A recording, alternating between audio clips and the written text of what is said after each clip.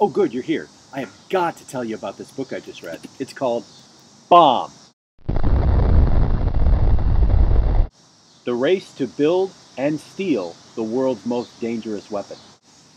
It's a quick read, it's about 240 pages. It's, uh, one, everything, and of course, it's the bomb.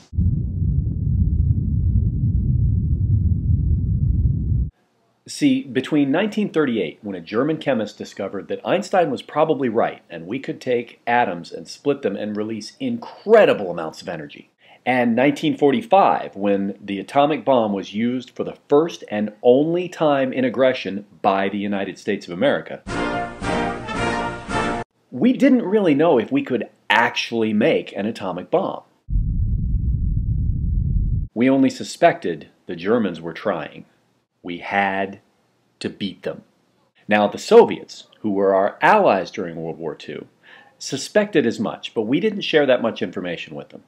So they figured their best bet was to steal our plans. Now, all these things together set up an amazing tale of spies, scientists, attacks, espionage, and the race to build the most incredible weapon the world has ever seen. Where's the kaboom? So, if you'd like to learn about folks like Robert Oppenheimer, who we didn't really trust but who still managed to save our way of life, or about Harry Gold, the not very good Soviet spy who nevertheless tried to get the plans, and even about Knut Haukelid, whose Dark of Night bombing raid destroyed the Germans' heavy water production capabilities and with it any hopes they had of beating the Americans. Then Bomb is the book for you. Run out right now and get it at a library near you.